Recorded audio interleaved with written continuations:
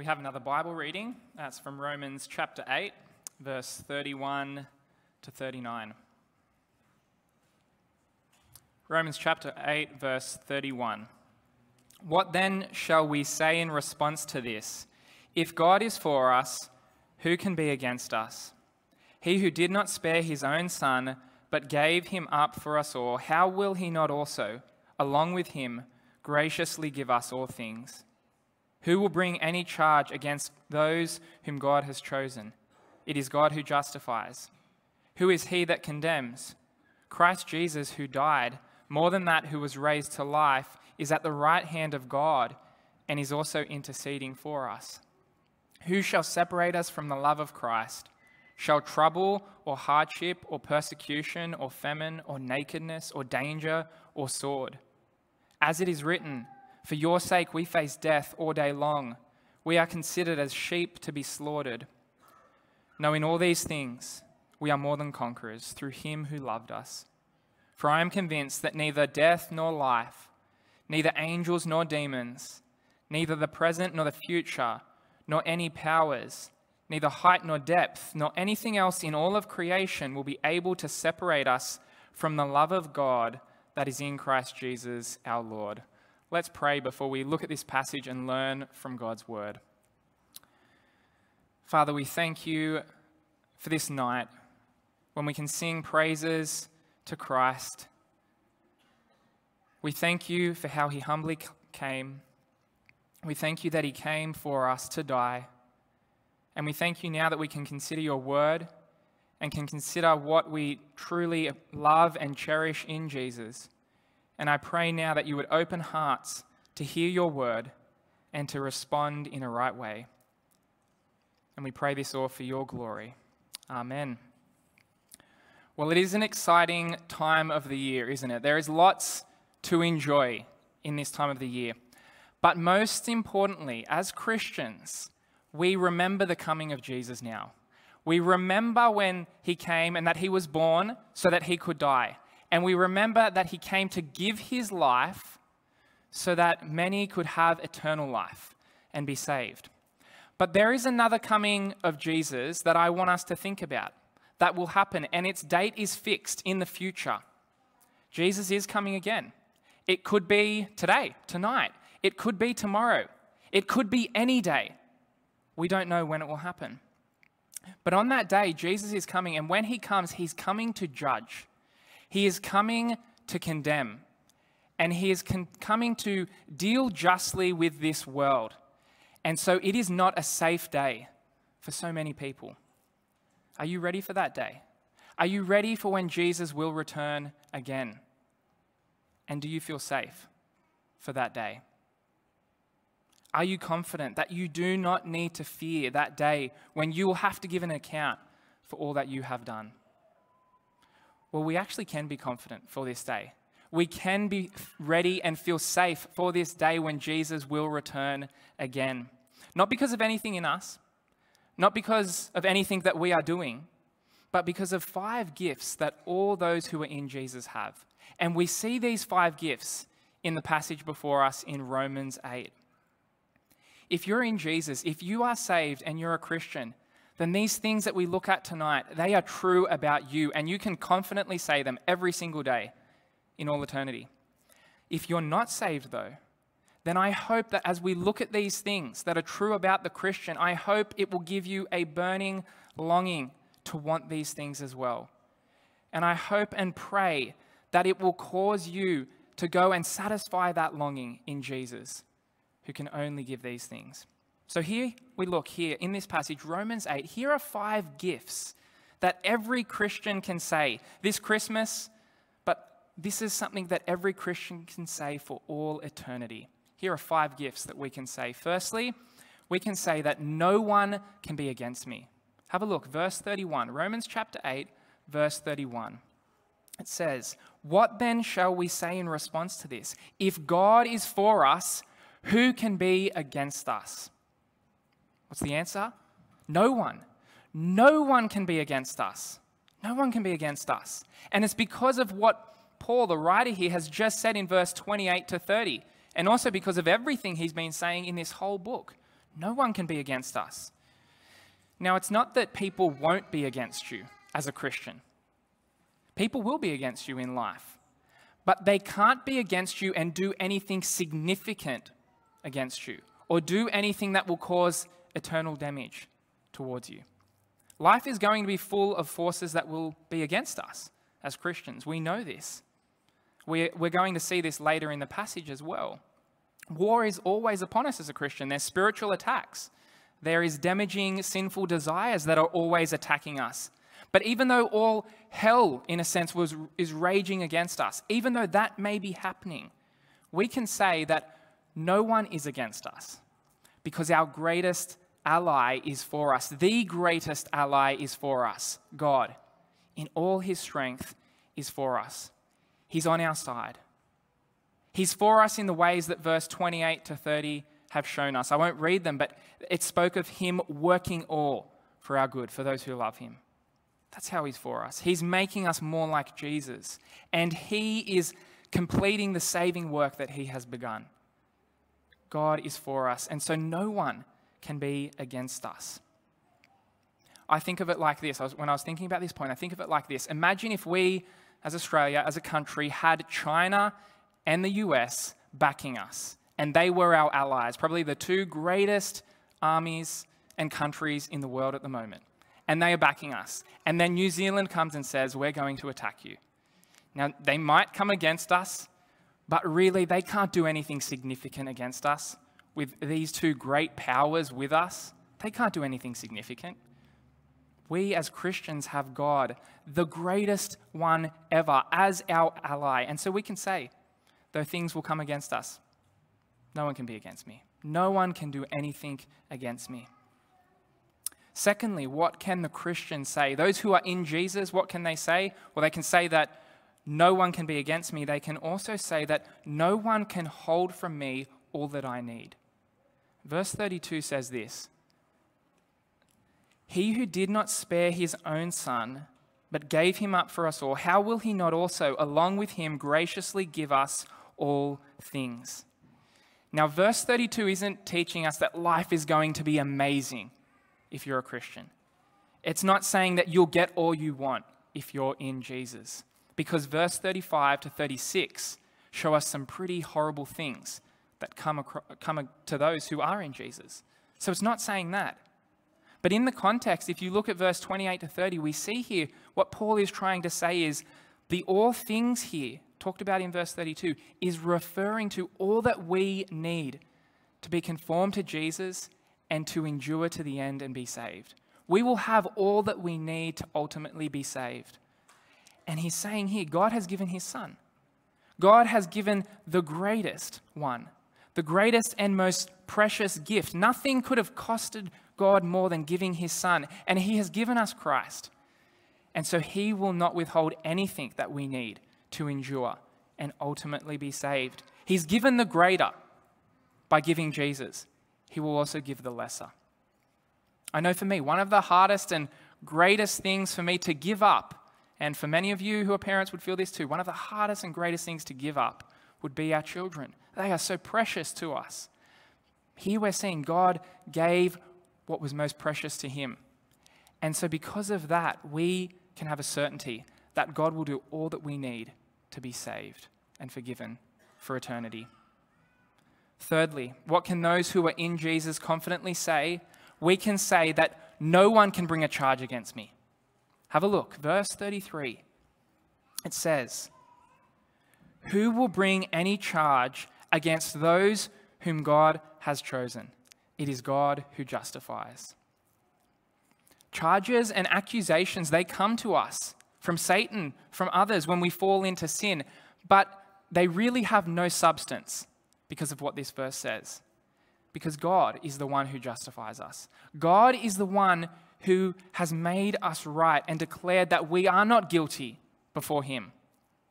God is the one who has declared that we are right in his sight and that no charges can come against us. And he has declared that we have been forgiven of all our sin if we are in Christ. Past sins, present sins, future sins, all sins forgiven if we are in Christ. And so no charges can get brought against us, no accusations can be made. I know for some people, they struggle with this the fact that they can be forgiven. Sometimes when I talk with people about God's forgiveness and how they can be forgiven of all sin in Jesus, they really struggle. And they say that that's too wonderful, but God can't do that for me. I've strayed too far. My sin's too deep. God can't forgive me.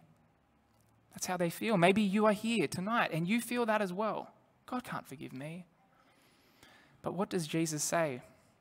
He says that he came to seek and save the lost. And Jesus says that it is not the healthy who need a doctor, but the sick. I have come not to call the righteous, but sinners to repentance. You see, Jesus came for those who are spiritually sick.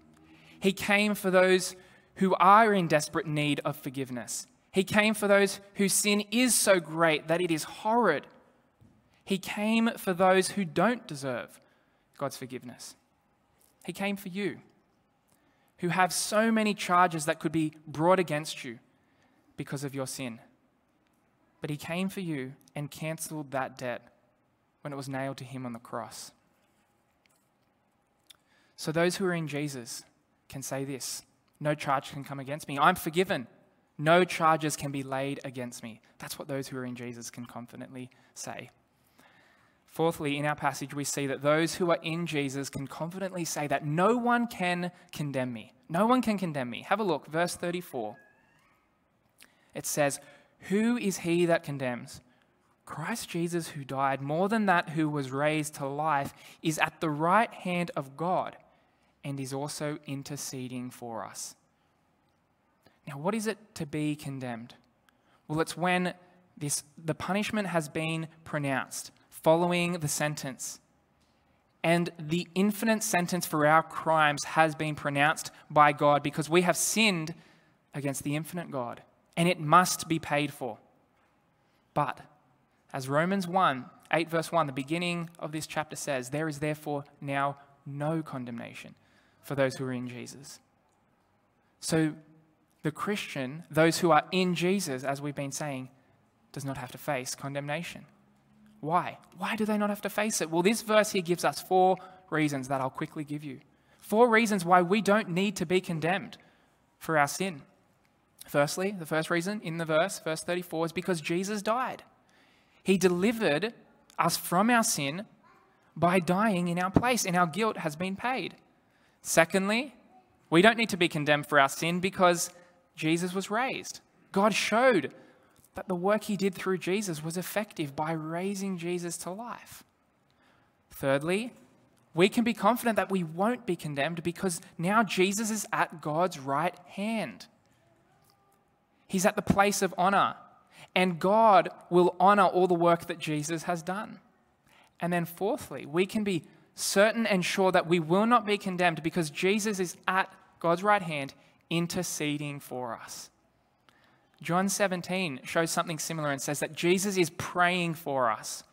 The point here is Jesus is pleading for our good. For those who are in Jesus, he's sitting there before God pleading for our good so that we can be sure we will never be condemned. We will never be condemned for our sin. Picture it like this Imagine in your mind this. You've been sent to court. You've been sent to court in another land for deliberately and continuously disobeying the king of that kingdom. And you've been sent to court for it. But in the courtroom, a man that you don't know comes forward and he starts claiming that he has done all those crimes that you actually did. And so, because of that, the pronouncement's made upon him to go to jail for you. He goes to the prison and he comes out eventually alive one day having paid the penalty for those crimes. And he comes out alive and he goes to sit at the right hand of the king. Because this man was actually the prince, he was the king's son. And now he sits at the right hand of that king, pleading for your good, defending you before the king for the rest of your life. That's what Jesus has done for the Christian, for those who are in Christ. And that's why they can say, No one can condemn me. Though my sin is great, though I have strayed so far and our guilt overwhelms us and engulfs us, no one can condemn me because of what Jesus has done. And now he sits interceding for us. And then finally, one final thing here in the passage that those who are in Jesus can say it's this No one can separate me from God's love. No one can separate me from God's love. Look at verse 35. Who shall separate us from the love of Christ?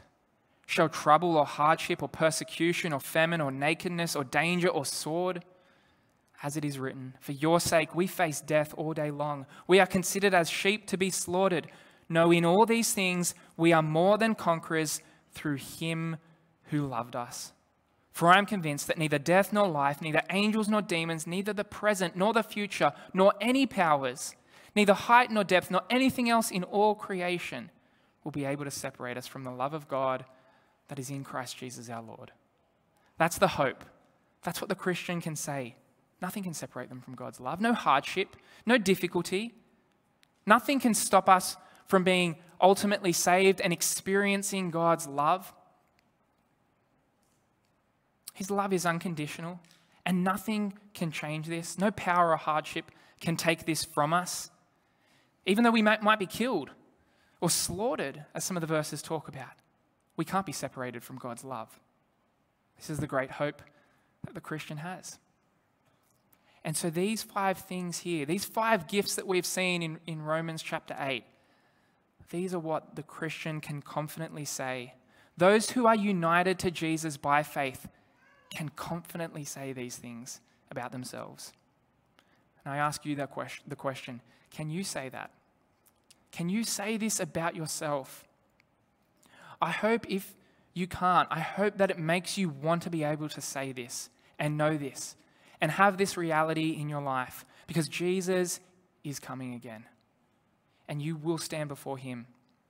And without these precious gifts that we have seen here, without them, Jesus' return should be a day that you fear because it is a day where he will be against you. It is a day where the record books will be opened and charges will be laid. It's a day where condemnation for the crimes you have done will be enforced. And it's a day where you will be, in fact, separated from God's love for eternity. And so, if this isn't true about you, I encourage you to come and join yourself to Jesus, the Savior who can give eternal life. Come, you who think you could never be forgiven, you who think your sin is, is far too great to be forgiven, come, you who are lost. Come, you who are engulfed by the guilt of your sin, you who feel spiritually sick, come to Jesus because all that Jesus has done can cover this. All that he has done can cleanse you. All these gifts that you have in Jesus are enough for you to be forgiven and saved. So I offer you what we have seen in this passage. If you don't have it, come, find it in Jesus by relying on Him to give you this, to give you salvation and forgiveness, which you desperately need. And come and take hold of it. Come and take hold of these precious gifts that are found in Jesus. If you don't have them, take hold of them tonight before it is too late. You don't know the day you'll die. You don't know when Jesus is coming. Come and take hold of them now, tonight. And be ready then for the day when he comes. And be ready for the day when Jesus returns. Take hold of Jesus. If you haven't done this, speak to me or, or a Christian that you trust and come and find forgiveness in what Christ has done. But if you are a Christian, if you are in Jesus tonight and you say, I do have these things, I can say them, I know them, then I want to challenge you. Live like they are, live like they are a reality in your life. Live like they are a reality. Live like someone who really does say, No one can be against me, and therefore I will not fear what life may bring. Because no one can be against me. Nothing can be against me. Live like these are a reality in your life. Live like someone who really does say, God will give me all I need to be ultimately saved.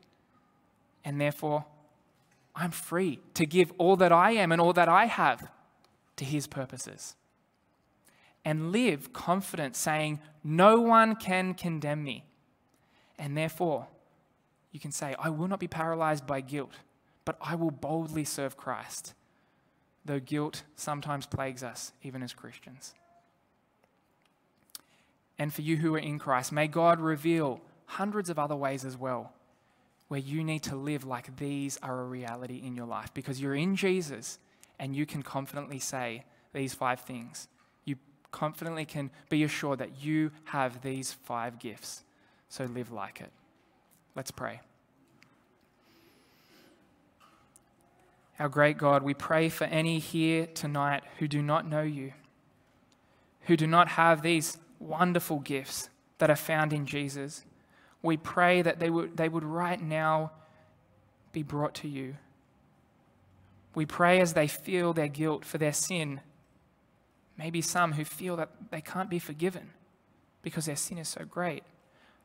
Father, we pray that they would see that Christ came to save people like this. He came to save those who are lost, those who are spiritually sick, those who are so deep in sin.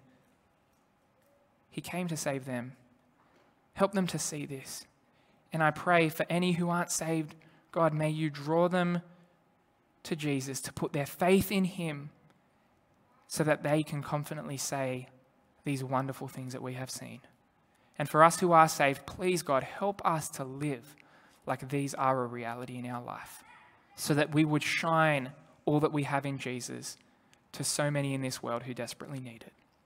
We pray all of this in Jesus' name. Amen.